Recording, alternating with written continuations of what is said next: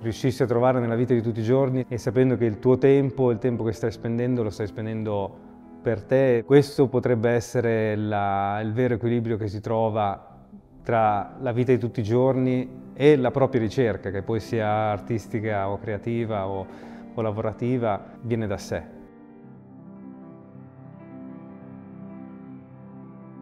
In passato furono i miei docenti, anzi direi meglio il mio insegnante di disegno al vero. Mi ispirò a comprendere appunto l'aspetto creativo come una di quelle cose dove la creatività può avere molteplici confini, anzi forse illimitati confini. Ad oggi ciò che mi ispira di più è l'approccio che abbiamo e la percezione che abbiamo del tempo, perché mi rendo conto che la realtà di oggi è una realtà molto veloce, molto rapida e ci toglie tanto di quello che è l'apprezzare la, l'attimo in cui i nostri linguaggi e le nostre direzioni possono essere cambiate.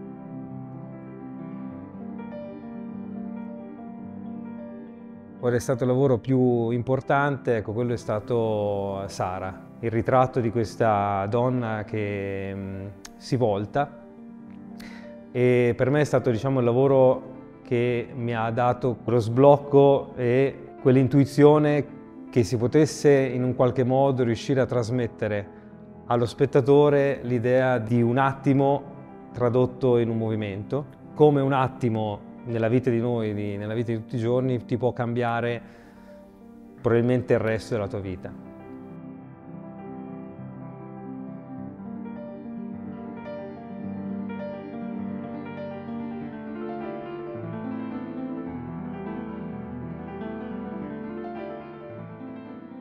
Io da, da, ragazzo lavoravo in campagna, quindi ero molto a contatto con, eh, con la terra, insomma, con, eh, con, quello che abbiamo sotto i piedi. E un ricordo che ho da giovane di quando venivano queste nevicate, non facevo i soliti pupazzi di neve, ma provavo a, non so, fare, realizzare il mio cane o cercare di riportare comunque qualcosa, una forma che avesse una relazione con la mia vita di tutti i giorni. Quindi credo che l'esperienza infantile crei nel, nell'individuo un, un approccio al linguaggio che poi utilizzerà nelle proprie esperienze di vita e di un linguaggio piuttosto che dire un linguaggio artistico o un linguaggio creativo. Posso dire che la scultura, se viene definita come scelta, è una scelta molto insomma, coraggiosa, c'è tutto un procedimento molto complesso, ma in questa complessità c'è proprio il suo bello. E quello che per me è affascinante della scultura è che è quel linguaggio che è più reale, presente e che dà modo di avere un dialogo molto non solo emotivo ma soprattutto anche fisico.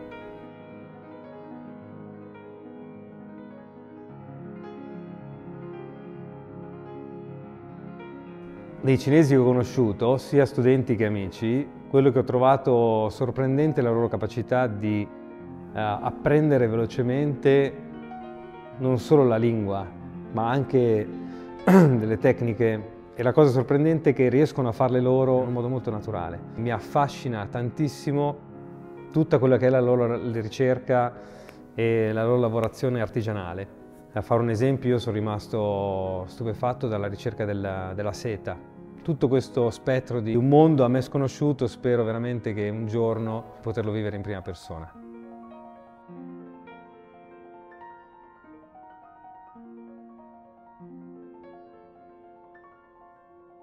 Vorrei ringraziare tanto Sofia e Vasari Culture Media per questa intervista e per questa opportunità e mi auguro anche di vedervi presto in Cina. Sì, sì.